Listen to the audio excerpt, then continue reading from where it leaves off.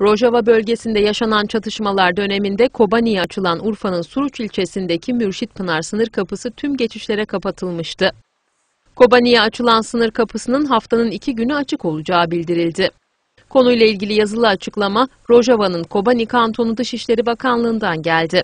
Açıklamaya göre yetkililerin yaptığı görüşme sonucu sınır kapısının açılması konusunda anlaşma sağlandı. Sınır kapısı her hafta pazartesi ve perşembe günleri bölge sakinlerinin gidiş gelişlerine ve insani yardımlara açık tutulacak. 21 Ocak'ta ilan edilen Cizire Kantonu hükümetinin Irak hükümetiyle yaptığı görüşmeler sonucunda Musul'la sınırı olan Tilkoçer kapısı 26 Şubat günü insani yardımların geçişine resmen açılmıştı. Irak Kürdistanı ile olan Semelka sınır kapısı ise halen kapalı tutulmaya devam ediyor.